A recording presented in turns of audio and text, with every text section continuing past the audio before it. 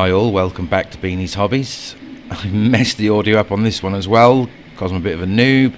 In the background I had the radio playing, so yeah, can't really have the audio because that'll be a copyright strike.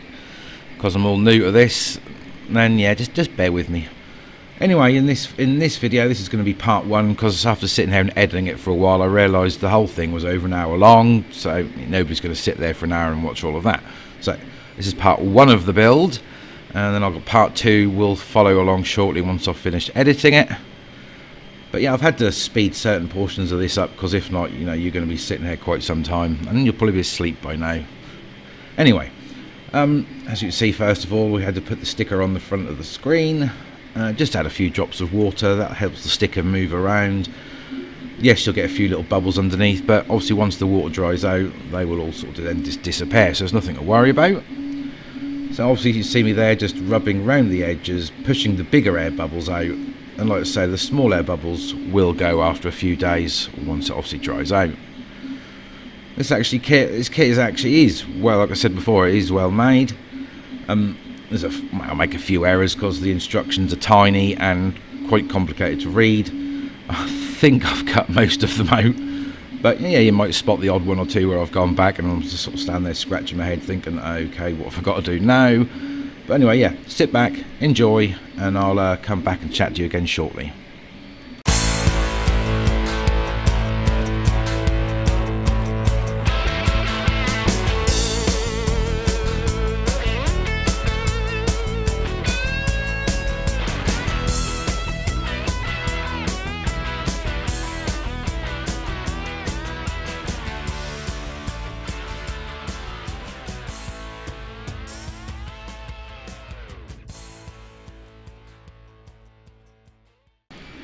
Quick side note.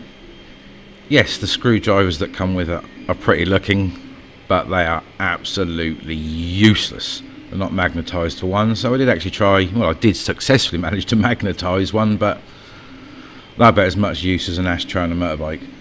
So you, you, you'll see me in a minute. Just give up with it completely and use my own set of screwdrivers and I'd advise you guys to do the same thing because all you're going to end up doing is just mashing the head up on all the screws so yeah, a little bit, little bit of ice. Use your own screwdrivers and uh, keep the ones that come with it. They're nice for display purposes, but apart from that, that's about, all, about what they are useful for.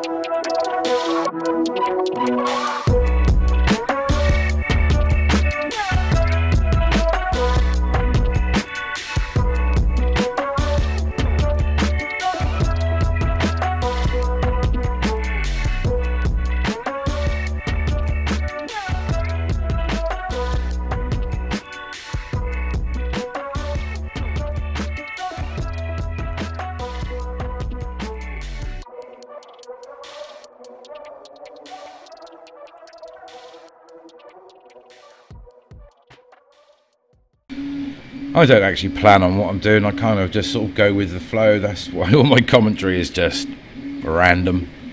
Just, it's all raw. You know, I, I don't plan anything. I, I, can't see the point. You know, you guys want a bit of entertainment, so just go along with it. A lot of these YouTubes, everything's all staged and put on, and yeah, it's kind of a bit fun at times. But pff, who wants that? You know, I just like the raw, unedited version of it.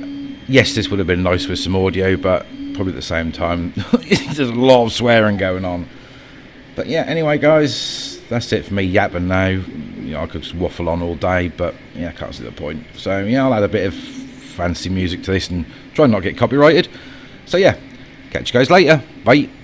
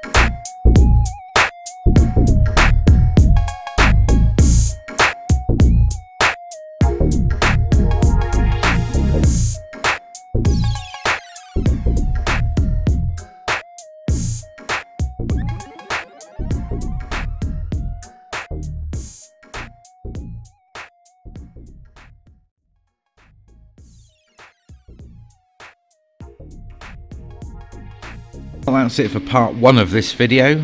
Part two will be along shortly once I've finished editing and putting together. And like I say this is going to be split into two parts. Then obviously once that are over we can then move on to the accessories to give this Pip-Boy a bit of functionality. Because at the moment it literally is just a prop replica that does um, well nothing. But it still looks quite cool. Anyway thanks for watching. If you like please leave a like. If you want to subscribe subscribe. If you want to leave a comment leave a comment if not don't bother. I don't mind either way. Anyway cheers for watching. See ya